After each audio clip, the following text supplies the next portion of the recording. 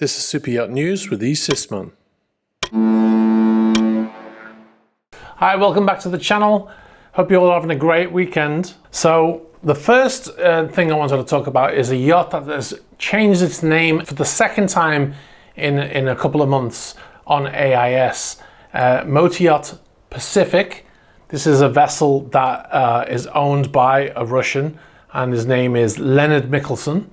He's the CEO and major shareholder of Novatek, which is a Russian gas company. Now he he owns this yacht.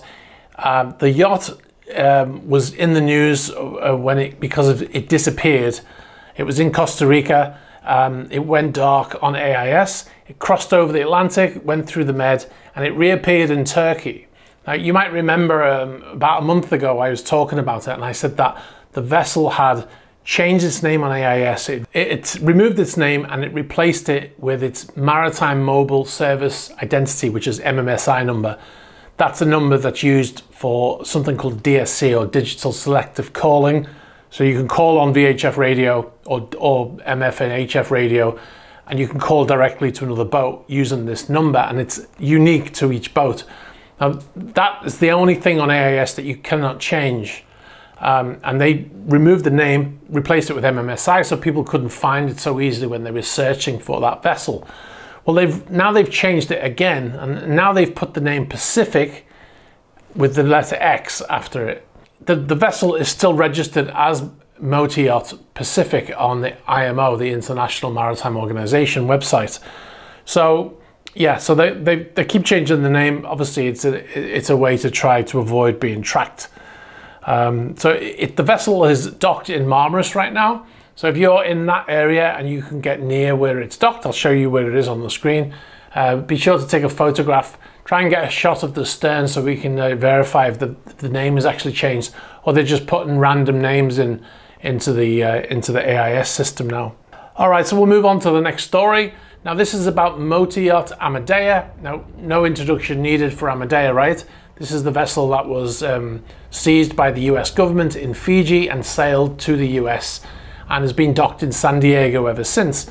Well, uh, I've a few people contacted me telling me that the they were planning to move the vessel because it was attracting quite a lot of attention in the location where it was.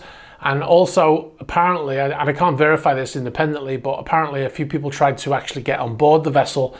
Um, the, the, the thing is, the thing that you should know is any yacht, regardless of, of where it is, uh, you might walk along in a marina somewhere and you might see a yacht with its gangway down and, a, and, a, and a, a, sign across it saying private, no entry, and there's nobody around, right? And you might think, oh, I can just walk on board.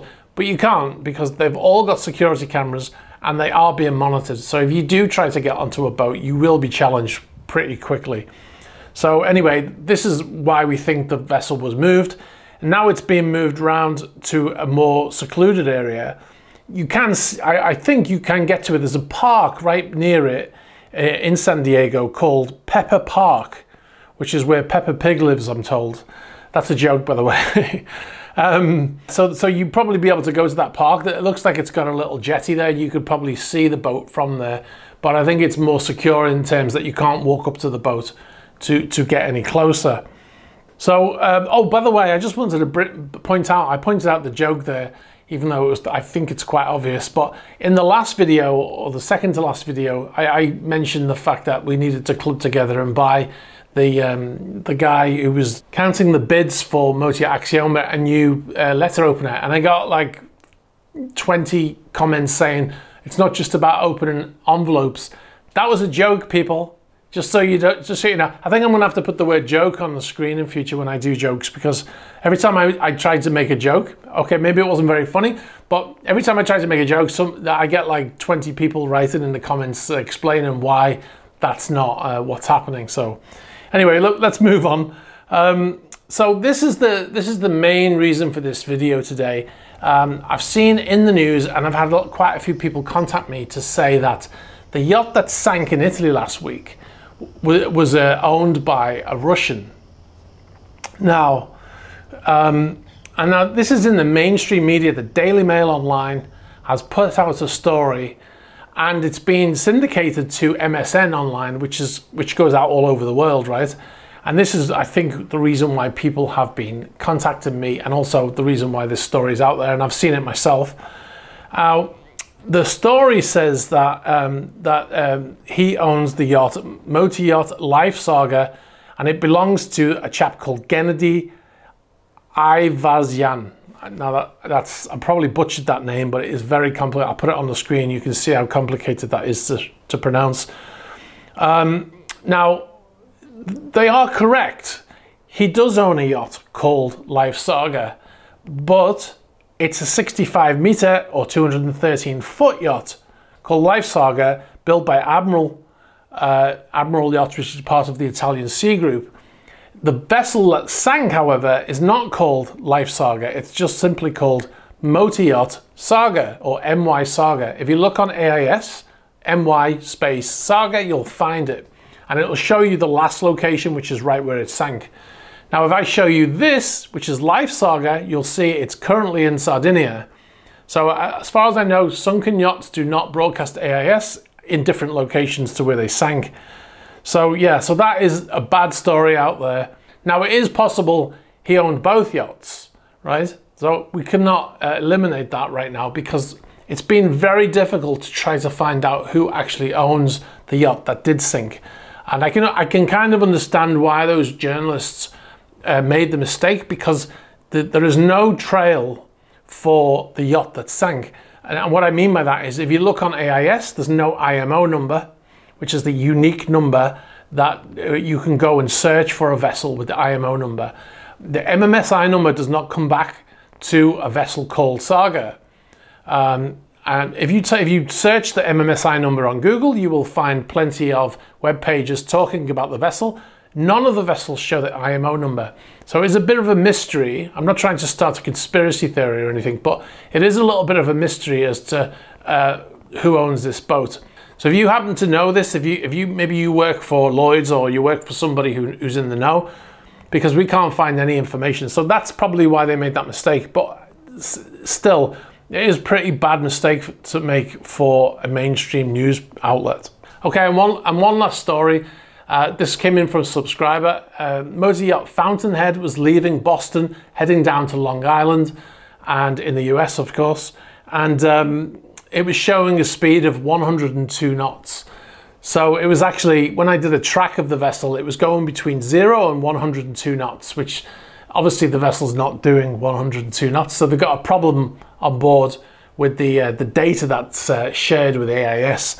Now, the system on board that measures speed on a yacht is they have a GPS feed, but they also use something called uh, a Doppler log, which gives you um, a speed of what something called speed over ground or speed through water. And basically, the, the, the, the uh, this is the easy version. Um, it sends out radio signal from the hull of the vessel down, and then it, it bounces off the ground, the seabed, and comes back up, and that's called speed over ground. And if the vessel is in, you know, a thousand meters, and it, it, it, selects a predetermined depth to bounce the uh, the sound frequency off, and that return on the on the the hull of the vessel, they can work out how fast the vessel is doing relative speed based on the return of that signal. Uh, and I think there's probably something wrong with the transducer. Uh, I've had experience with this myself. I was on a yacht once, and we were in a shipyard. We were docked and the, um, the, the speed over ground was saying we were doing about 80 knots. So uh, we, we definitely were not doing 80 knots because of a fault with the transducer. So that's probably the, the, the issue that's that's happening there. But yeah, I thought that was quite funny when I saw the speed. Yeah, I'll, I'll put the track on the screen. You can see it. All right, guys, I'm going to leave it there. Just one one last thing I want to say is please watch my video. I, I just put out a video. It's a mini documentary. It's called uh, millions, staggering monthly costs of seas super yachts.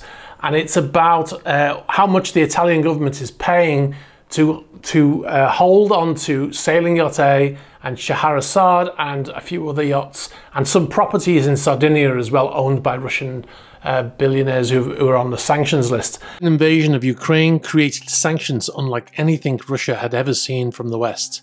As a result of these sanctions, we look at the crippling costs of millions of euros per month the Italian government are paying to keep assets frozen. The comments I'm getting back from it are really good, but um, I'm just surprised that not so many of you have chosen to watch it so far. So please check it out. It's only a 10 minute video and it's, it's there was a lot of research went into it, a lot of a lot of work went into that video. So I would appreciate if you watch it and then let me know what you think in the comments. All right, guys, I'm going to leave it there. Thanks very much for watching. Uh, you know how to do it. If you want to contact us, um, about page of the YouTube channel, uh, Instagram, uh, Facebook Messenger, and through email. Be sure to like this video, hit the subscribe button, and hit the bell for future notifications. All right, enjoy the rest of your weekend. Bye bye. After the vessel was arrested by the Italian authorities, both Melnichenko's yachts lost their flag state as they were deregistered by the Isle of Man shipping registry. They also had their Lloyd's classification withdrawn, all as a result of the sanctions. This meant both vessels would also lose their insurance,